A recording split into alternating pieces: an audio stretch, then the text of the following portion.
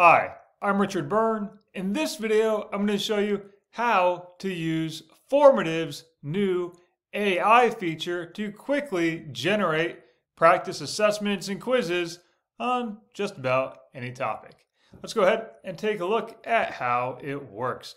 So I'm here at formative.com, and the first thing you need to do is obviously sign into your account. And here I am in my account. And in order to get access to the AI tool, you need to go into your account settings and you can find those down there in your account button and click on your account and select settings. And then down at the bottom here, you'll find this option for early access. And you'll want to make sure you've turned on AI content creation. And you can turn on formative student practice as well, but you don't have to in order to use the AI tool. You just need to turn on the AI content creation. Then go back up to formatives and at the top right corner, select add and you want to select AI generate formative. And let's do a trivia. Let's say ninth grade. And I want to do something about United States landmarks. Let's go ahead and generate the formative. And we'll see here, it's going to tell us that it's being generated.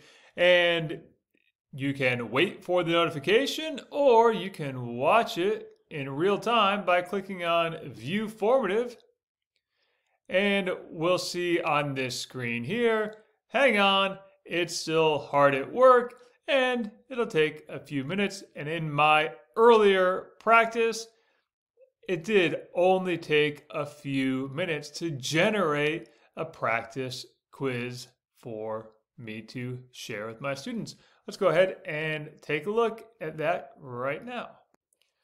So we'll see here, it's now created this trivia game for me. Now I'm going to edit the title up here. I'll leave out the AI generated part and make sure it actually says landmarks and not landma. And now we can go down here and we'll see the correct answers we can go in and change the point values if we want to. The default is just one point, but I'm going to change it to 10 points. And I can make this required.